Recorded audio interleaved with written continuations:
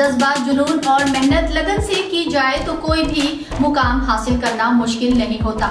ऐसा ही जिला कांगड़ा फतेहपुर के राजा का तालाब की पंचायत डग की मनीषा ने करके दिखाया है।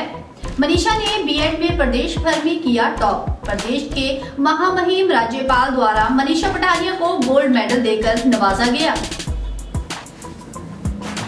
मेरा नाम मनीषा पठानिया है और मैं यहाँ डग से बिलोंग करती हूँ।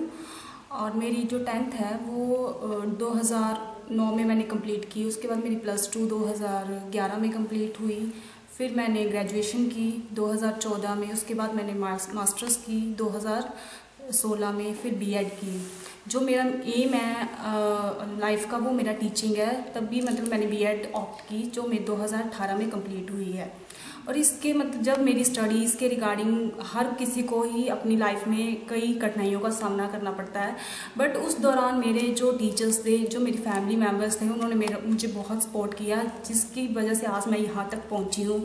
और बीएड के दौरान मेरी शादी भी होगी, उसके बाद मेरे जो इन लॉज थे उन्होंने भी मुझे पूरा ही सपोर्ट किया अब मेरी स्टडीज़ के रिगार्डिंग सपोर्ट किया अभी कर भी रहे हैं आगे।